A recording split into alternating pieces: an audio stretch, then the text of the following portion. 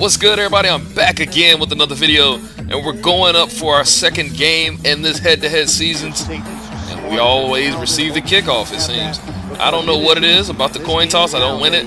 I take this knee and we're going to start the game off right and that's at the 20 yard line. Joe Montana dropping back and I have no time to throw so I'm making adjustments. I'm thinking to myself, hmm, what do I got to do? Let's see how the run works. I try to bust it outside with DeMarco Murray and guess what?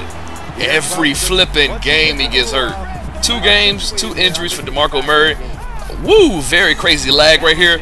But we find Percy Harvin on the curl route. He picks up a nice 34 yards on the play. Now it's third and nine once again. I can't figure this guy out on first and second down. Third down, I go right here, and I'm looking for my boy AJ Green coming across the middle, picking up the first down, getting us in the red zone. Now it's second and eight.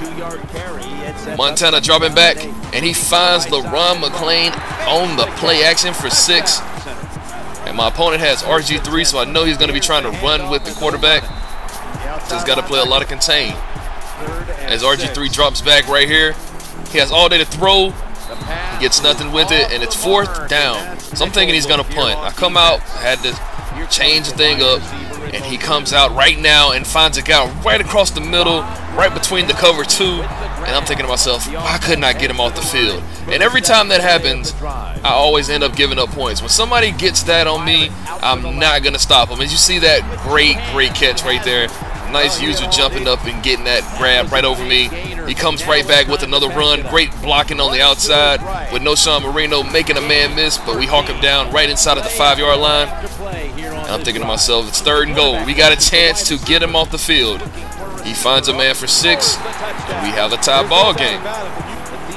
So now Montana on third and 10 again. I get six yards on the play. I'm not seeing him go for it. I'm thinking to myself, why not go for it? If this is what Ultimate Team is all about, go for it. And I know better than this. I am a guy that plays so conservative. And I'm sitting here thinking, why where am I going for it? I had X wide open, I miss him. And now I'm like, oh, scramble drill, scramble drill, somebody get open and I throw it away. So, I just shot myself in the foot with less than a minute left in the first half, but Thomas Deku picks it off right here. No damage done by either side. So I'll take that. 51 seconds now, first and 10. And I'm thinking to myself, I got all three timeouts. Why not push it? Montana finds Heyward-Bey, who picks up five yards on the play. And we're going to come out, and I said, I got to take a shot. And that guy is Percy Harvin. Montana to Harvin. You're not going to catch me, son. Let me holler at you, player. Touchdown, Percy.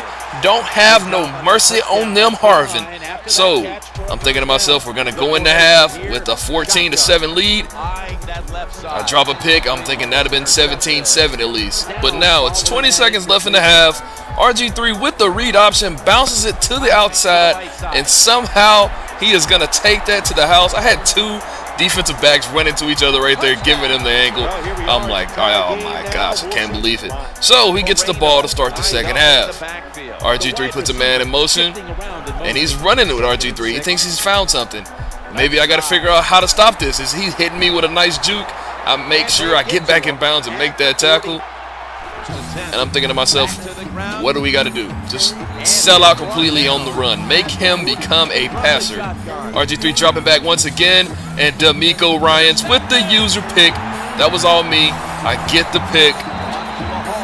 I'm making RG3 a thrower, man. You're not going to beat me with the legs.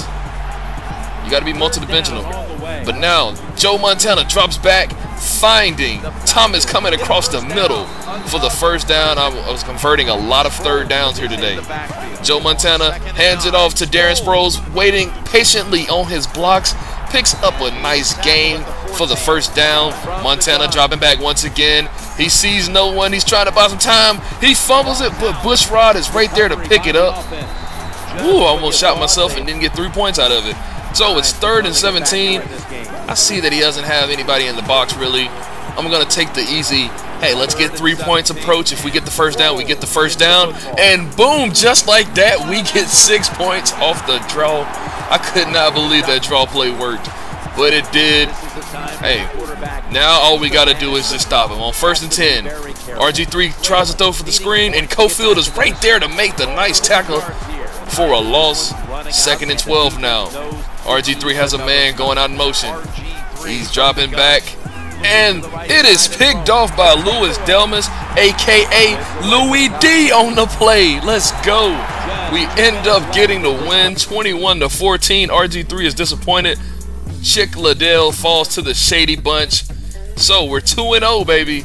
Let's keep this thing moving. Let's keep this gravy train moving. Y'all be good. Expect another video out real soon.